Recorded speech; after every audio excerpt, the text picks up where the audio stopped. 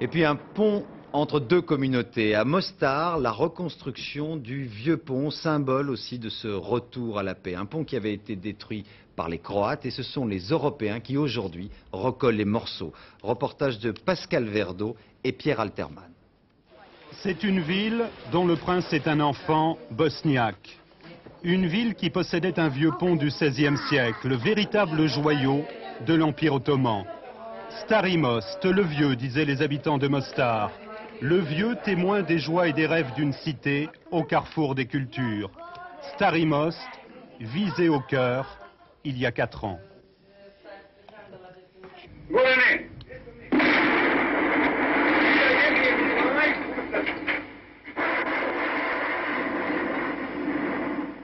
Et pourtant, dit une chanson, il était solide comme un os. Ce sont nos frères à la barbe noire qui l'ont détruit.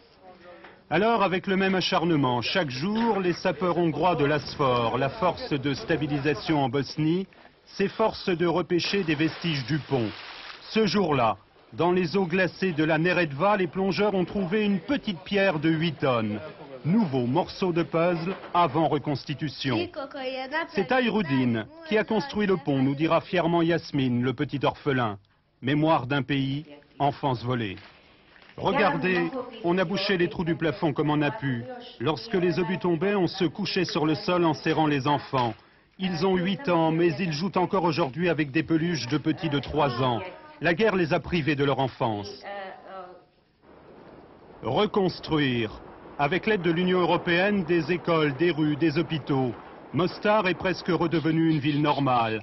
Mais comment reconstruire une confiance entre les deux rives, entre Croates et musulmans Mon rêve, une ville ouverte à tous les peuples. Une ville où les enfants pourront jouer ensemble, comme avant.